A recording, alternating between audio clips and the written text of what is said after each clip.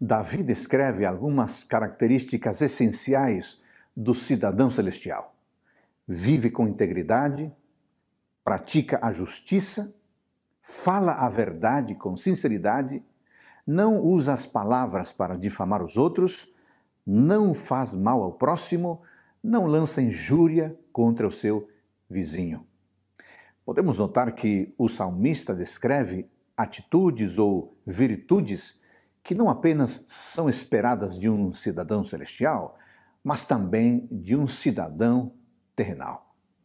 Integridade, justiça, veracidade, honra, respeito, consideração e cuidado. Não precisamos esperar a eternidade para vivermos esse estilo de vida. Podemos começar agora.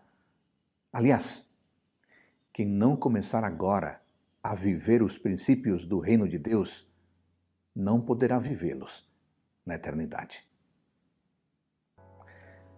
Nosso amado Deus, nós queremos hoje viver os princípios do teu reino em nosso dia a dia. Por isso, suplicamos a tua bênção. Em nome de Jesus. Amém.